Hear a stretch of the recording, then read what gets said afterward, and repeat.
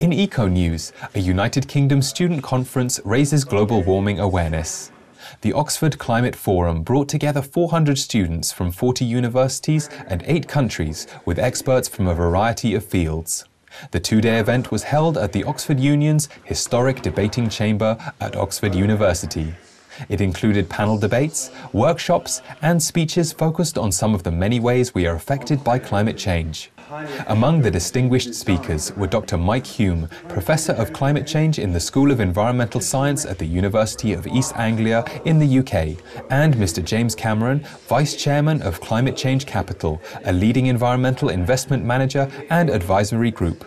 Mr. Eden Cotty Jones organised the gathering. The, the vision is to try and create a network of engaged students who are going to you know, build a sophisticated understanding of climate change and issues surrounding it. To emphasise the vegan solution to halting climate change, Loving Hut in Camden, London, part of a global family of restaurants encouraged by Supreme Master Ching Hai to offer delicious and affordable plant-based food, provided 400 complimentary cruelty-free lunches to the attendees. It's very good. It's very, very good. I'm very impressed. I think a lot of people actually don't really know what what vegan food can be like.